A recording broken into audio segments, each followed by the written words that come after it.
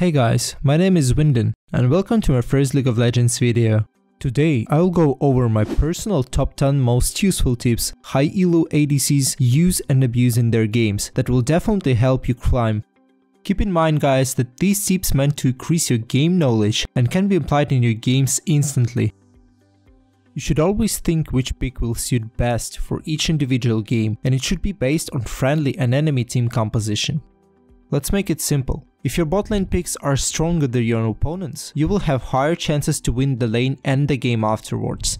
The same concept is applied to every single role in League. So if you really want to climb your elo, next time you play ranked, try to look at the enemy team composition and choose ADC that would be comfortable for you to play. Actually, this is a really hot topic to discuss and I'll definitely make another whole video on that, but for now, let's move on. So the next tip sounds like that. Master a few champions only. Most of low elo players don't realize that, but they expect high results in a short period of time, playing different roles and different champions at the same time.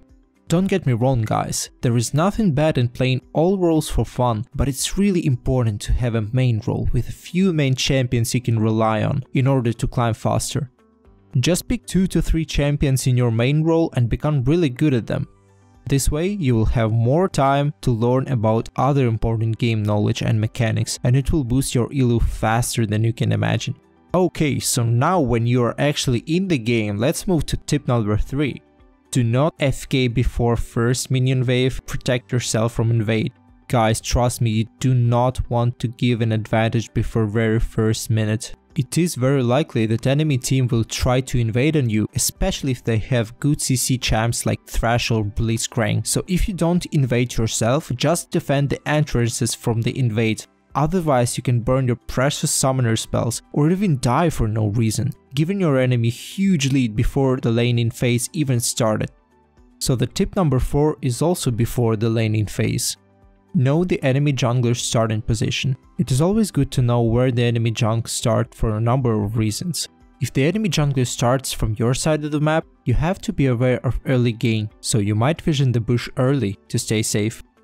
On the other hand, if you're not leashing and you know your enemies are, you can use that opportunity to harass or even kill enemy bot lane. But if their pick is stronger at all in or they just warded in advance, you can always push the wave before they appear that will give you level 2 power spike even faster. So let's move on to the next tip and probably the most important one. Always remember, farm is a key. Farm is one of the main and most underrated game routine in League of Legends, especially for ADC role. You want to get your items ASAP to deal some damage in a team fights. It is your main drill. Always try to farm every CS and look for additional side waves and jungle camps later in the game. This is no joke guys, you must farm better in order to get your elo higher. Always remind it to yourself that every CS counts. Better farm over enemy ADC will give you gold for additional items, so you can deal even more damage in team fights. Tip number 6 is probably that most of ADC players always forget about. Stay out of harassing lane when your support is not with you. Be always patient about your support movement he can decide to roam after base to help out the other lane. Just play safe and don't get caught until he come back. It can be devastating to lose a lot of HP or even die before your sub comes back to lane, so play smart and safe. Okay, what's next? Are you keep pushing? Then set up a proper vision so you don't get ganked by enemy jungler. The better your vision is placed, the less chances you die due to overextension in the lane. The most basic gank timing for most of common jungle routes is around 3 minute mark. And do not forget to buy pink wards whenever you base. Even in low elo it is not wrong start thinking about better vision control.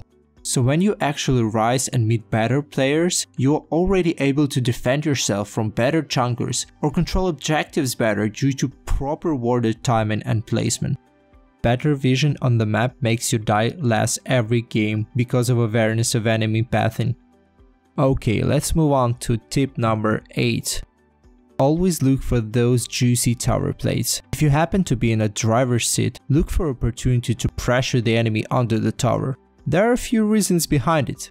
By sieging enemies under tower, you can get a significant CS lead over enemy ADC due to your harass and harder CSing for them.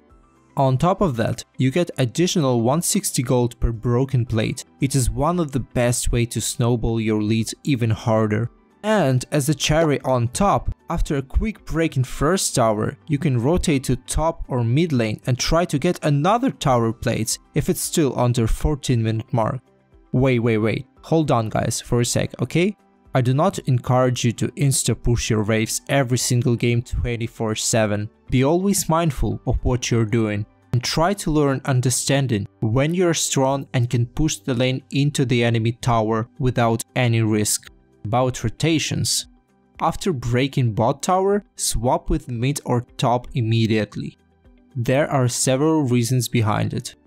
After breaking bot tower, you want to break mid and top towers too, you not only get a sweet amount of gold for the team, but also expanding your freedom around the map. Losing tower on each side of the map means also losing your territory around it. If you lost your bot lane tower, it is better for you to swap with other lane that has tower and farm waves without fighting, and try getting your lead back by farming.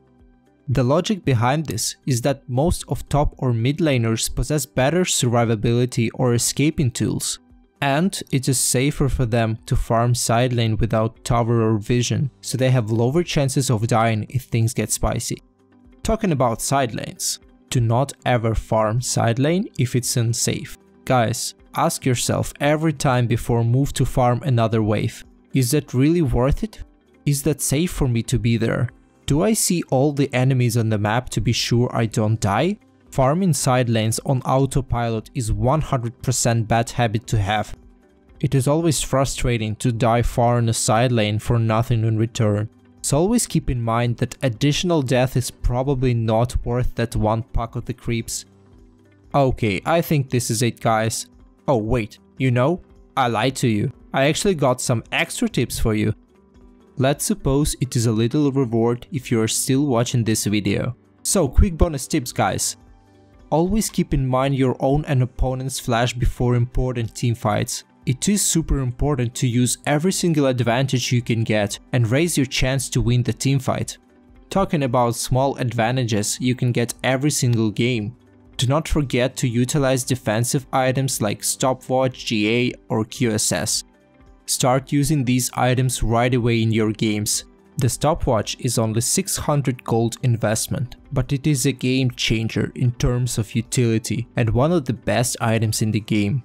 Another good items for certain scenarios are Tabi Boots and Guardian Angel versus heavy physical damage team, QSS and Mercury Boots versus heavy CC, and Maw of Malmortius versus heavy AP teams. Do not underestimate defensive items and focus on surviving as your first priority in team fights over dealing damage.